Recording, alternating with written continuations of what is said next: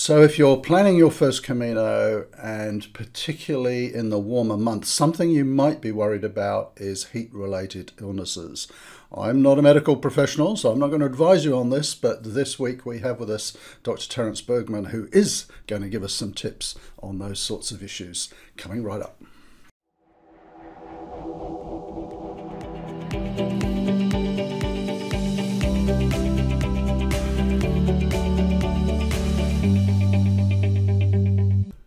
So, if you're planning your first Camino and it might be in the warmer months, you could be thinking about heat related illnesses. Uh, we've got a specialist with us this week, Dr. Terence Bergmann from Winnipeg, which is, I had to look it up on the map. It's kind of right in the middle of Canada, isn't it? My house is about 30 kilometers from the longitudinal center of Canada. Oh, wow. yeah. and, and you've just been out for a hike, which is awesome. Yes. And uh, I should point out that you are no newbie to Caminos. You have walked the Camino in the past too.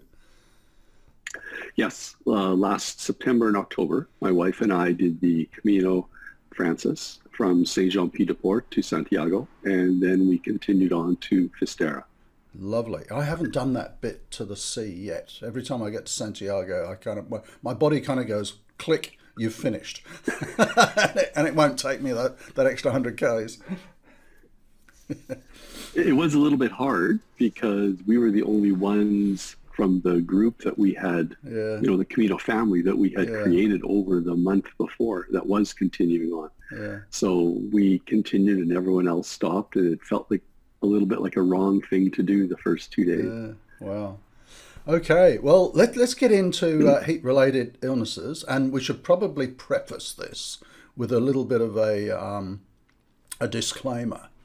So, Terence is very kindly sharing some information about medically uh, related, or sorry, heat related injuries on the Camino. Uh, this is not to be taken as medical advice. You should go and see your medical professional, all that kind of stuff. But he's going to be sharing some really cool things with us. Um, so, did you have any sort of health related issues when you walked your Camino? September could be warm, couldn't it? Yeah, we didn't have too much problems with heat. That was not one of our situations. I have Parkinson's disease and I have two knee replacements. Oh, wow. So part of doing the Camino was now I had new knees and I could go and my Parkinson's was not yet advancing very far that would stop me from going. Mm. So I was in a little bit of a sweet spot, and uh, yeah. that made last year the year to go. And I hope it's maybe the first time, and we can do one of the other Caminos yeah. at some point in the future again. I'm sure you will. I, th- I think that's that's such a sort of truism of the Camino for a lot of people who are planning. Sometimes the time is just the time to go, isn't it? And you mm-hmm. know, just go go when you can. Um, So I think one of the things that people are often puzzled about is what's the difference between heat stroke and heat exhaustion? Right. So classically, um, exertional heat stroke and exertional heat exhaustion have been used as two separate diseases. And really, they very much flowed into each other. And the newest terminology is leaning towards just calling it exertional heat illness and letting it be a multitude of little syndromes that sometimes flow from one to the other, depending on whether you're maybe more dehydrated versus hot, or whether there's a medical issue or a, a drug-induced issue that's causing heat to become a far bigger issue uh, than, let's say, muscle injury or muscle damage.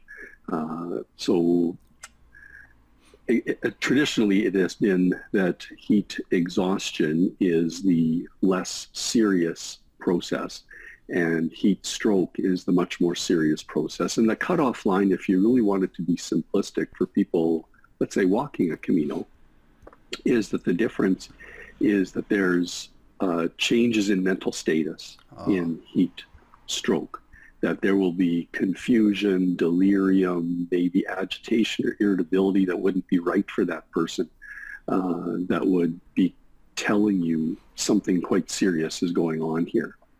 Yeah, I, I saw a video um, with, with, with, a doctor in the UK recently because I, I, sort of started researching it when I was going to talk to you. Um, and that, that bit concerned me because uh, my next Camino I'll be walking in fairly warm weather on my own on a fairly remote Camino. And this idea of you know, mental confusion and really not understanding what's going on with you, I thought, wow, if I'm walking on my own, that could be a bit risky. So, are, are there sort of earlier things to watch out for? Or? Yes. Um, so this is where the most important thing, honestly, in heat illnesses that you can do as a person yourself is just to pay attention to your body. When your body's saying, I'm done, I'm baked, you might actually be done or baked. Mm. And maybe you do need to stop and say, I'm taking a break or I'm ending my day here. Um, you know, we all go through a bit of decay as we go through the day. You can start your morning walking four kilometers an hour. Uh, by the end of six hours, you're probably watching, walking two and a half or three kilometers an hour at best. Uh, that is a normal deterioration in ability as you get tired. Uh, that's to be expected. But if all of a sudden something's out of whack and it's like, I've only walked 10 kilometers, but I feel I've walked 30 and I am mm. just, my head's hurting, like your body's telling you something's wrong. Something is probably starting to go wrong. Mm. And there isn't a lot that you can look at um, as the person who's going through this other than that sort of just feeling that you can, you know, I'm, I'm becoming weak. I'm, I'm becoming slow. I've got a headache. Uh, I, I just don't feel good. Uh, that might be all you can get. Um, things that you might not want to think about maybe is that if I feel crummy, maybe I should go to the bathroom. Hmm. Our urine is actually a very important uh, telltale sign of what's going on with the body. When you're well hydrated, urine is almost colorless. Um, as you get more and more dehydrated, it gets yellower and a darker yellow. If you go to the washroom and it's a very deep yellow, you know right off the hop you're dehydrated, you're behind in fluids. Uh, but there's also color shifts that occur that can tell you other things are going on. Blood could show up in the urine. Um, the urine could turn brown. Uh, there's a disease called rhabdomyolysis where the muscle breakdown occurs with exertion of you know, overuse, repetitive use of certain muscles. And if you start noticing brown urine, you might be entering a state of rhabdomyolysis where your calf muscles, your quad muscles might actually be breaking down from the exertion. Um, and, and, that's just one gauge that you can use along the way.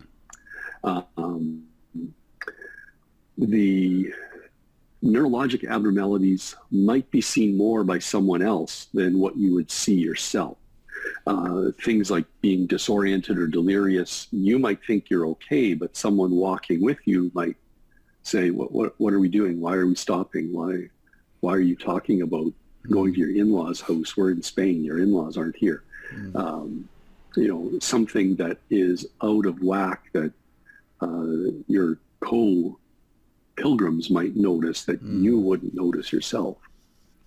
Okay, yeah, that that sounds like uh, good advice, and I, I, can totally relate to that. You know, if I'm walking on my own, you you you really do have to listen to your body, and I know people say this endlessly about the Camino, but it is so true. You you tune into it, and you do know if things are a little bit bit out of whack. Absolutely. Mm-hmm. Mm-hmm. So, so if, if we're walking with someone, those are the things to look out for then, that, that sort of confused state? Is, is there anything maybe physical that, that we should notice? There isn't so much physical to go on. Uh, sometimes people will start wandering like they're drunk a little bit. They'll be veering around on the trail. You know, I mean, if you're going up a, a steep trail that has roots and boulders, we all veer mm. around. That's what you're supposed to be doing if you'd be stumbling on that and doing a straight line, that would probably be a bad thing. Mm-hmm. Um, if you're out on the flat, uh, you know, one of the final trails into Santiago that's 10 feet wide, uh, if you're wandering like a drunk man and you're not drunk, mm-hmm. uh, something's wrong. Mm-hmm. Um, uh, inability to coordinate. Uh, we call it ataxia. Uh, people lose their ability to sort of get eye-hand coordination to work, foot-hand coordination to work. Those are late-stage symptoms, though, or signs that someone else might notice. Okay. There, there really isn't that much other than you start noticing they're acting a little bit odd, um, and they're just getting weak. Even making a diagnosis of a heat-related disease on the trail can be really hard because we're hot. It's Mm. uh, going to be occurring probably closer to the middle of the day or later on in the day if you're hiking, Mm. you know, after lunch. Um, finding a way to sort of say, hey, are you hotter than you're supposed to be? Like, Mm. do I know this person enough to put my hand on their um, shady side arm, let's say their right arm, if we're walking with the sun on our left side, you know, would I put my hand on their arm and would they feel comfortable? Would they be okay if I just touch Mm. their arm? It's like, whoa, you're burning up. You know, Mm. we've all felt a child with a fever probably and know what that is like when you put your hand on that very hot skin um, to assess if they actually have a heat-related process going on you need to find some skin that's not in the sun Mm. because the sunny side, of course, will be hotter. Okay. Uh, the shady side is where you're going to get your sense that, yes, this person's too Mm. hot. Because there could, of course, be many other medical illnesses going on that are not heat related. It might be a hot day, Mm. uh, but maybe this person caught COVID last night in the Mm. albergue and their fever's coming up right now Mm. and you know there there may not this is where this is where it becomes confusing to try and play Hmm. doctor on the trail Yeah. and even for a doctor to play doctor on the trail is a little bit tricky because you just don't have the toys we have at Yeah. work to use i mean not i i don't know anyone who's walked the camino carrying a thermometer to take people's temperatures uh, I, I don't think that occurs Yeah, no, that's a fair one. So, so if we if we notice these symptoms in other people or start to notice it in ourselves, I guess what should we do? the first thing is get out of the sun. Mm. So there was a, um, the U.S. military deals with, if you want to go back to the old terminology of heat stroke, Mm. uh, probably if you, so as a Canadian, we get a lot of our literature from the United States. That's just the medical industrial complex that Mm. feeds us our data. Uh, and the U.S. military gleans data on its personnel to help it figure out what to do right and what not to do wrong uh, in getting soldiers from A to B. Um, so heat stroke is a very big U.S. military issue. Uh, I think they have something like around 350 soldiers experience heat stroke requiring hospitalization every summer. Um, they have to sort of figure out, well, so what are we doing wrong? How can we avoid this happening? And they've come up with what they call the wet bulb globe test, which is a three-phase um, uh, equation that looks at the dry temperature, the relative humidity, uh, the angle of the sun in the sky, and the amount of cloud cover that prevents the sun from hitting you. And you can do a calculation that would tell you you shouldn't be out here doing anything in the sun. Mm. Uh, you should get into the shade. In the wet bulb globe test, which I hope no one is going to try and figure out on the trail, um, the 20% of that value comes from the sun striking you. 20% of your heat that you have is from the sun striking you. That's relative to only 10% of it is due to the temperature of the day. Mm. So getting out of the sun is key. Mm. Uh, getting into shade somewhere. And, and the benefit of the Camino having churches all over the place is there are buildings that have stone walls that might actually have a bit of a cool stone wall. Mm. And if you can get into the shade and find something that is a little bit cooler than the air around you, that's going to help you a little bit. Mm. It's going to chip away at that twenty percent. Yeah, that's interesting. Yeah. Yes, yes. Um, the big portion of the wet bulb, bulb globe test is relative humidity. 70% of it's relative Mm. humidity. And if you can't clear or evaporate your sweat, you just keep building up heat. Mm. So the next thing you have to do if you're getting hot or feeling like you're getting too hot or you feel someone that you're hiking with is getting overheated is you've got to somehow get them evaporating water and if you can't, you've got to get them into something colder so they can cool down their mm. skin and conduct off the heat that the body's building up. Mm. So getting out of the sun and getting into some place where you can start peeling heat off the body, mm. uh, whether that's pouring water on the person, standing in a hose, mm. um, something, you know, little yeah. creek that's muddy nearby. Am I going to sit in the creek and get ugly and muddy, but I'm yeah. going to survive if I do yeah, that. It'll cool you down. Yeah.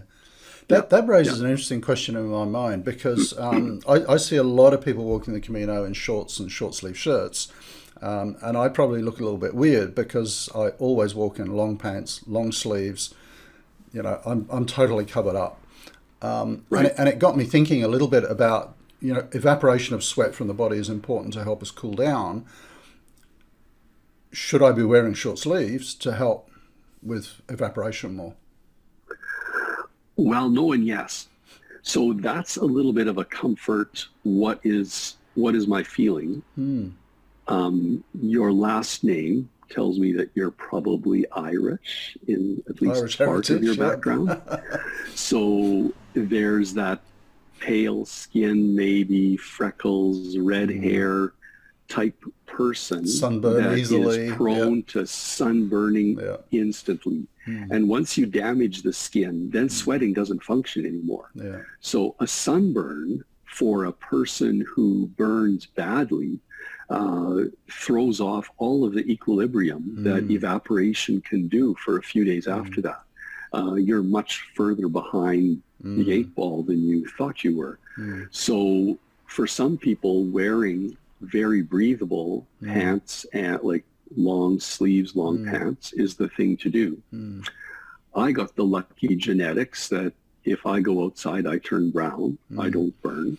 Um, and I can walk around in a t-shirt and shorts and I will, you know, get some nice bronze color to me, yeah. but I don't burn that easily. Yeah. Yeah. So I think I have an easier time evaporating off mm. the moisture that's on me if I'm wearing shorts and a mm. t-shirt. Mm. But, you know, the Scotsman that is covered in freckles and red hair, probably shouldn't do what I'm doing. Mm. So there isn't a right answer to that. Now, if your clothing traps heat in there, like let's say you have your raincoat on mm. and there's something going on that you can't sense how hot you're getting, uh, that sweat is building up, but it's not evaporating mm. off. You're just becoming wet inside yeah. your clothing. That becomes a whole different bad issue there. Mm. So really it's breathable clothing that will allow a wind mm. to take the sweat away. Uh, you can be, you know, like in long sleeves, long pants. Uh, you can have that big hat on mm. that drapes down over the ears and shoulders so you don't burn. And you're saving your skin by doing that. And guys like me might like, well, you know, I might walk past you. It's like, how can you do that, man? I'd be dying if I was dressed the way you're dressed. I'm good, you're good. Yeah. Uh, we're both surviving in our way mm. that we're made to survive. Mm. And again, it, it, comes back to that same comment. We're listening to our bodies. Mm. Yeah, no, sound sound advice. Um, so, so what maybe should other other things that people should be aware of because you know preferably we want to avoid all of this, not be treating it on the trail. Truly, truly um, looking at risks is a very big issue. Uh, and probably if I hate using the word older because I get older every year, so I don't like to say that anymore. but, you know, uh, if you look back at the statistics of heat exhaustion and heat stroke, they occur primarily in people older than 70 and younger than 5. Mm. There's not a lot of five-year-olds and two-year-olds walking the Camino. Mm. It's people who are reaching the retired ages mm. of life primarily. So we in that age group have to really watch uh, what's going on with us. And that's because as you get older, uh, the portion of the brain that calculates and determines our temperature be, starts to fail a little bit. We get we can get what's called automo- autonomic dysregulation, which is a fancy word for the, the thermostat inside mm. the brain. The calibration goes off a little bit, and instead of keeping a tight window, it'll mm. allow a bit more spread in temperature.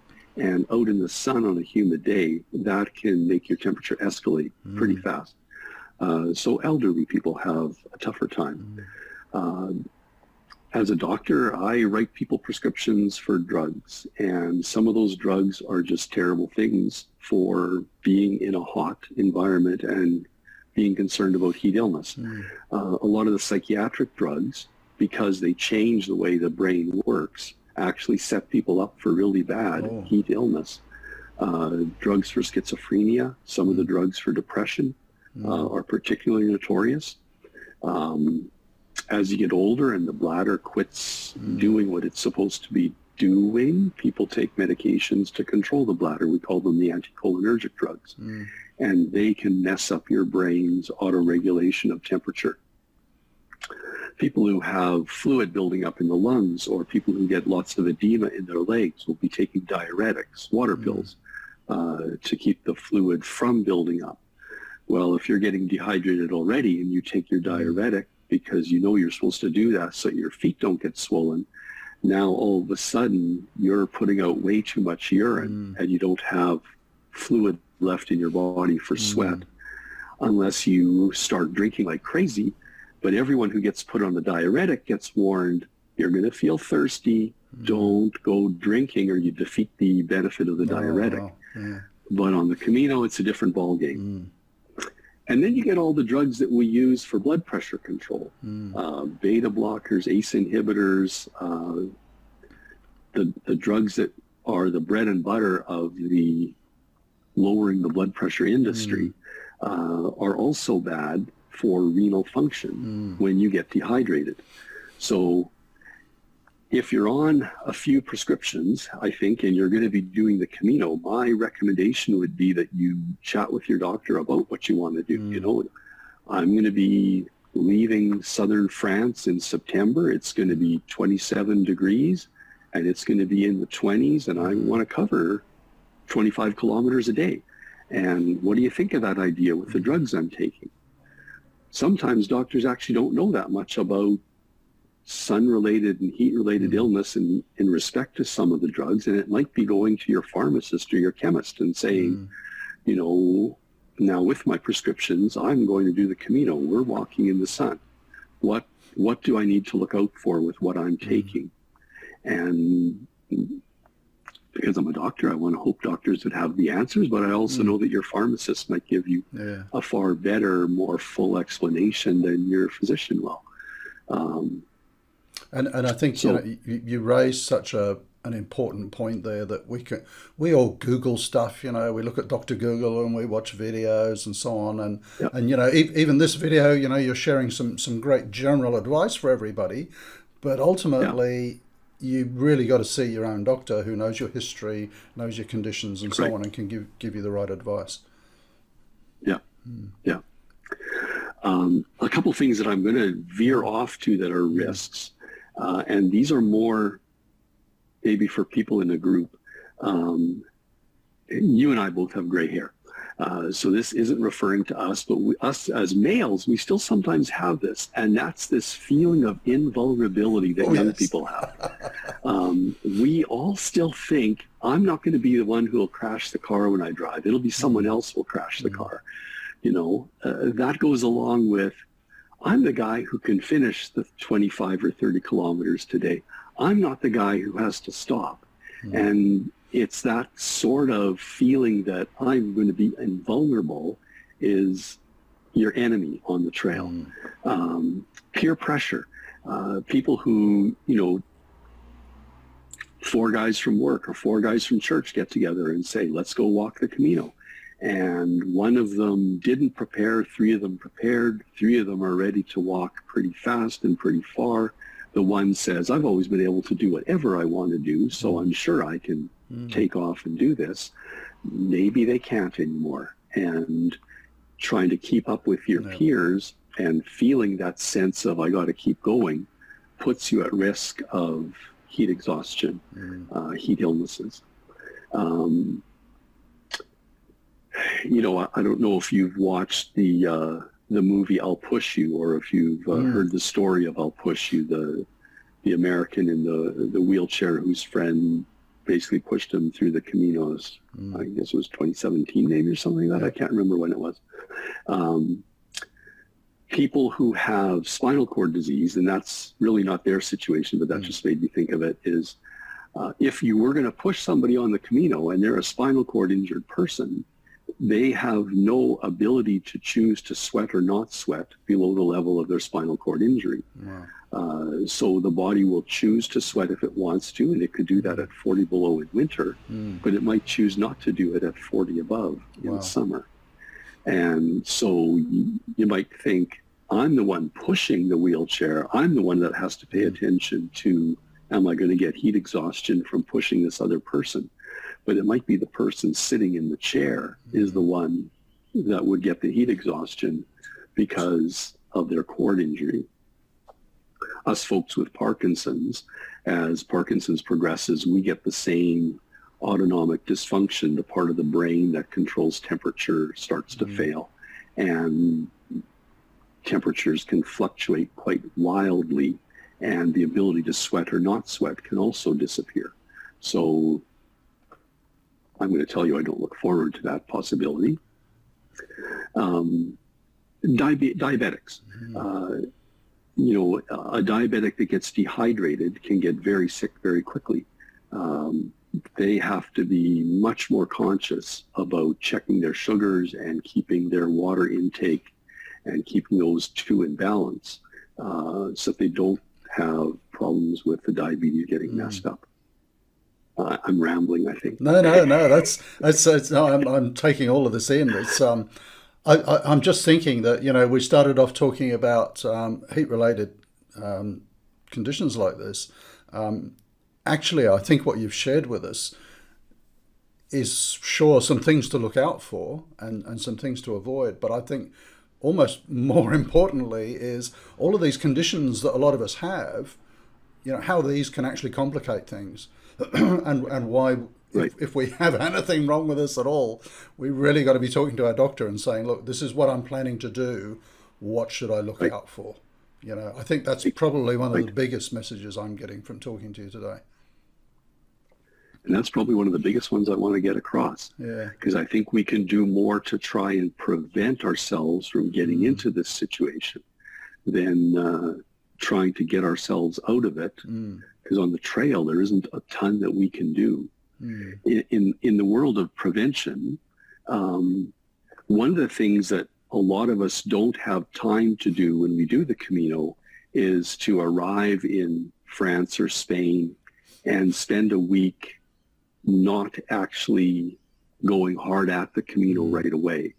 Um, if you look at professional athletes going to different environments, to competitions, um, you know, classically, um, medically, we look at the Mexico Olympics in Yeah. 1968, where there was heat and uh, terrible smog and elevation all in the same place mm, and they knew they had to get their teams there two or three weeks beforehand just so they could acclimate to Mhm. the air, to the humidity, to the temperature. If you're coming out of Seattle and you're going to end up in León or Burgos on your first day in the middle of summer, it's going to be a dramatic hit to your body Mhm. going from 20 and maybe a coolish feeling 20 to, you know, burning sun and 30 degrees, 35 Mhm. degrees Celsius. Uh, you know, it would be great if we all could say, yep, I'm going to go do the Camino. I'm going to fly into. Spain for a week and I'm going to wander around Yeah. Spain for a week, not doing too much, not trying to climb hills too much, just getting used to the sun and to the humidity. And then a week later, I'm going to go do my Mhm. Camino.